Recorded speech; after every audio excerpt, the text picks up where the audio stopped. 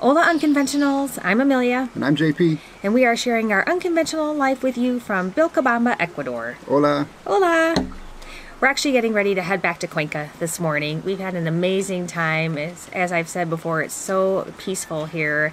We woke up to a nice, gentle rain. It's absolutely gorgeous. Even mm-hmm. the rain is más tranquilo here. Mm-hmm. And actually, last night JP had mentioned that the dogs are more tranquilo here. Mm-hmm. Aquí también. they are. They just uh, don't even move when you walk by them. They kind of look at you a little bit, but they're just, even the dogs are mellow. yes. and we're back in Cuenca. Yay! Woohoo! we really missed our babies. They were very happy to see us. Yes, and we were super happy to see them, of course. Yes, we wanted to tell you a little bit more about how to get between the two cities Mm-hmm. of Vilcabamba and Cuenca. I know a lot of people have questions about that, and we did too. Yeah, we really didn't know how we were going to get back. Yeah, it was a game time decision. It was.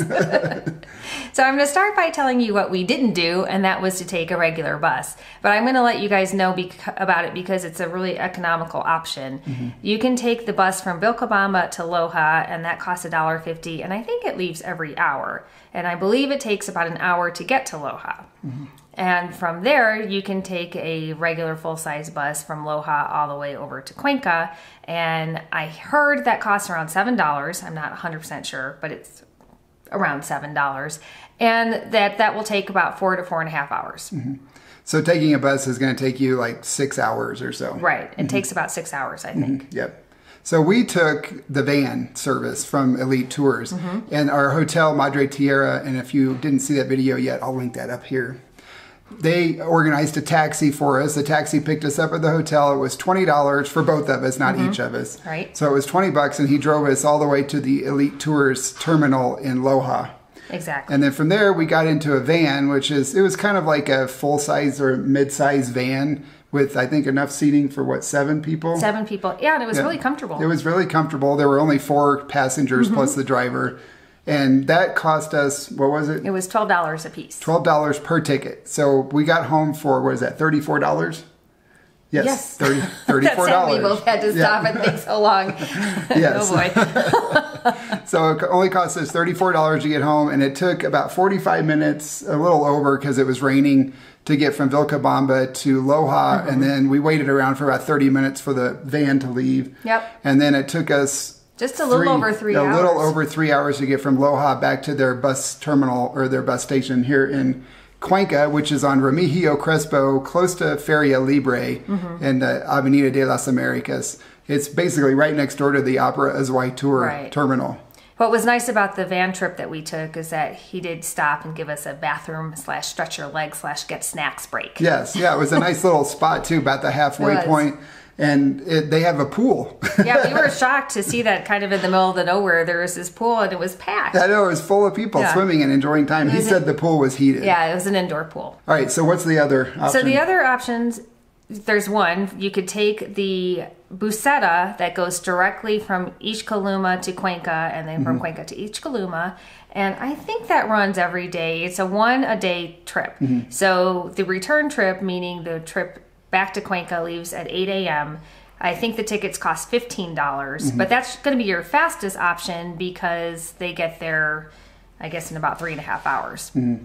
Maybe a- four. yeah. Yeah. I'm not exactly sure because we haven't taken it. Mm-hmm. And then same goes. There's one bus daily that goes from Cuenca. It leaves at 1:30, and then that gets you back to Vilcabamba, and Like specifically to five. Izhcayluma. So, but you have to take a cab over to Izhcayluma unless you're staying Unless there. you're staying there, of mm-hmm. course. So it works out to be about the same. We, as we mentioned earlier, we opted not to take the Izhcayluma bus for one thing, or Buseta, I should say. For one thing, because they were doing maintenance on it that day, but also because we did not want to get up and leave so early. Mm-hmm. Yeah, because we would have had to leave the hotel like six thirty or seven Yeah. to get over there in time and get some breakfast. Because Madre Tierra doesn't start serving breakfast breakfast until eight thirty. Exactly. Mm-hmm. But it all worked out quite. Yes, nicely. it did, yeah. So your other option is to hire a private driver. Mm-hmm. You can definitely do that, but that of course will be the most expensive. Yeah, like Edwin. Exactly. Edwin has picked us up in Guayaquil several times. Mm-hmm. Yep. So he'll he would come to Vilcabamba and pick you up, or any private driver would. Exactly. That would probably be the fastest route, and then you could stop and smell the roses along the way more if you wanted to. Yeah, we actually talked about doing that on our next trip Mm-hmm. because there's a couple places we'd like to stop and do some sightseeing. Yep. So Edwin may be driving us back there sometime. Yes. And we've already had requests for more day in the life videos from Vilcabamba too, so we got to get back there. oh darn. I know. I'm ready to go back now. it's been We pretty cold and rainy here in Cuenca since we got back. Yes, Missing my shorts weather. I know, gosh, we got used to that very quickly. Mm-hmm. Yeah, we did. But that being said, we love Cuenca, and luckily, this weather only lasts for a couple months, and then it'll be back to normal. Yeah, yeah. After we got home, we walked down to our fruit lady like we always do when we travel, but she was closed. Mm-hmm. I know we were so disappointed. she's got a great selection, Yeah. and she's so nice. I know, we really like her. But she was closed, so we walked over to Patricia's, which is another grocery store in our neighborhood that we've never talked about or shown before. So we thought we'd show you a little bit of footage about that. So the correct name is Supermercado Patricias, and it's right over by the stadium, pretty close to our house. It's very convenient. They have all the essentials, and we like to go there when we just need a few things or we don't feel like going all the way over to Supermaxi. Yeah, they have lots of produce, not quite as much as the Mercado, obviously, Mm-hmm. Right. but they have enough to get us by. Yes. And they have nut milks, which is a new addition, and we're really happy to see Mm-hmm. those there. And they have all kinds of other stuff too. Yeah, they have like coffee and condiments and beans and rice and cleaning supplies, ribbons, stuff like hardware kind of stuff, mm-hmm. Yes. paper products. It reminds me of the small farm town I grew up in Kansas. We had grocery stores that were like that. It was like a cross between a hardware store and a grocery store. And they just they have everything. And it's the same way with this one. It just it feels like when I was a kid. yeah, it's cool. Mm-hmm. yeah, it is. It is. It's nice to have it so close to home too. yes, it is. And they were open, more importantly. yes, that's always important. we do have a few more observations about Vilcabamba to share with you. Mm-hmm. Yeah, on our last night there, we walked back into town and did some people watching, and we met a chocolate farmer. Mm-hmm. Yeah, Amelia. was- I thought she was going to leave me there for a minute.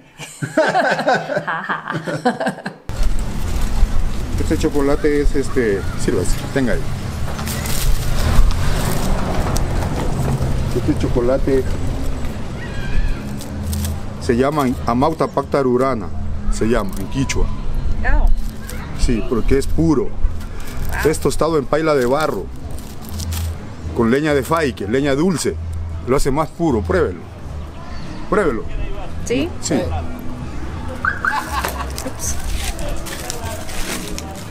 Ready? Mmm, wow, it's delicious. Mmm. It's very chocolatey. Tenemos así. Tenemos barritas en la misma hoja, Oh, wow. la misma hoja de cacao, ya Oh, no okay. plástico. See? Oh, that's awesome. Oh. Pero Yeah. Ese es el que ese es el que probó. Wow. That's really cool. So they don't use any plastic. I like that. De vuelta es para la piel o para la gastritis. Okay. Sí, puede que le guste ese. Cool. For the skin. Le viene así, puro. Oh, okay, yeah. Sí, amargo para tomar también o para la piel o la gastritis. Okay. Yeah, it was really cool trying that guy's chocolate, and the fact that he is not using plastic for his packaging, I think, is pretty awesome. Yep. That was one of the interesting things we noticed and really appreciated about Vilcabamba is that they do try to reduce plastic use as much as possible. Yeah, they do. And they have a Vil- what they call Vilca Water, which is a bottle watering plant in Vilcabamba. Mm-hmm. And so the restaurants, we were asking for bottled water because you can't drink the water out of the tap there. And they all said, "Oh, we have Vilca water," and it's basically it's just big bottles uh, that they get, and they serve it in the in glasses. Yeah, like those really big. yeah, five gallon. Yeah. or- If I do this, of course, I'm out of. Like, so not you know. your- imagine bigger than this. Yes. exactly. Anyway, so they use that, and they that's why they serve water in a glass at restaurants, so it's safe to drink. Yes. But they, we didn't see a lot of bottled water at all. No, we really didn't, and we Mm-hmm. were happy about that. Same with plastic bags. Yeah, yeah, not a lot of single-use plastic there. No, what we did see was a huge double rainbow. It was so cool, and it was it wasn't even raining in Vilcabamba yet, but it was obviously raining off in the mountains. Yeah, it was beautiful, and I heard that they see rainbows like that there all the time. Mm-hmm. The guy that runs the UFO uh, restaurant told me that they see those every week. Wow, that's I know, really cool. It was beautiful. Mhm, That was the most vivid rainbow I've ever seen. Yeah. Some of the other things that we observed about Vilcabamba was the fact that it's really, really clean there. And uh, we already mentioned that there's a lot of awesome people, huge variety of people. Dogs are super tranquilo, and we Yeah. didn't see any street dogs. That doesn't mean they aren't there. We just didn't see any. All, almost all the dogs we saw had collars or Mm-hmm. were, were with people. Yeah, and they were super tranquilo. They were so well. friendly. yes, everything there. It's like a slower pace. It really even is. slower than Cuenca. I know JP kept telling me it reminded him of the town he grew up in, Kansas. Yeah, just quiet and people out and walking around. Yep. Just isn't like that so much anymore in the states. Nope. And using the square. Mm-hmm. Yeah, People all the were- kids and the dogs and everybody were playing in the square. Yeah, and when we got there on Friday, people had their somebody was there with their car and parked right up there next to the square, and they were all hanging out on the sidewalk, and they had their music jamming. Mm-hmm. Yeah, It was pretty cool. yeah, it's neat to see to see that and so many people active like that. It is. Mm-hmm. The other thing we noticed is that there's a lot of attention when it comes to food allergies. You, if you've got some food allergies, that's a really good place to go because they seem to be very uh, aware of any potential cross contamination and Yeah. issues and Especially with gluten. Mm-hmm. Yeah. gluten and soy and peanuts. Peanuts, yeah. Mm-hmm. And they're even sensitive to us vegans. Yes, they are. we appreciate that. Yes. but the other thing I thought would be interesting so we were thinking if you lived there, you know, you can't get everything from Bill Vilcabamba because it's pretty small. And so what people do is they just go to Loja and I guess Stock up. stock up. There also is a really big mercado there on Sundays. So on Sundays they have the big Mm-hmm. Sunday is a huge family day Mm-hmm. outdoor mercado. Everybody's out using the square even more. Mm-hmm. It was neat to see all that. we didn't get a lot see. Mm-hmm. of footage of that because there were so many kids, and as you know, if you've watched our other videos, we don't we try not to include children in our videos because of YouTube's policies. yes, exactly. But and on Family Day, there's children everywhere. yes, there's still lots of kids. yeah, lots and lots of kids. Yeah. Mm-hmm. and everybody just so happy and having fun. It was just like it was reminded me of Mayberry from Andy Griffith's show. it's like that, only in uh, Only Latin. with multiple languages yeah, being spoken. people from all over the Yes. world. Yeah, it was neat. Yeah, we really enjoyed our time there. We did, and we're excited to go back. Yes, we are. The next time, we're I think we're going to stay in an Airbnb so that we can live more like a local, cook our own food Mm-hmm. and shop, and and that way we can show you more of what a day in the life looks like there. That sounds like a really good idea. Yeah, when are we going? I don't know. Soon. I we just got back to Cuenca.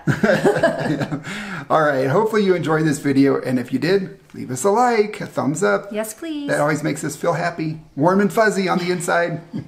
we have some exciting news coming too. A, a change, another change, but this is a good one. I think you guys are going to like. Hopefully so. Mm-hmm. I'm excited about it. Yeah, me too. And we'll fill you in more on that in an upcoming video. Sounds so, good. In the meantime, please uh, hit the subscribe button if you haven't already. And as always, I'll have more information in our blog post, Mm-hmm. including links to the van service that we used and other information. So go check that out if you have more questions that we didn't answer in this video. And on that note, ciao. Ciao.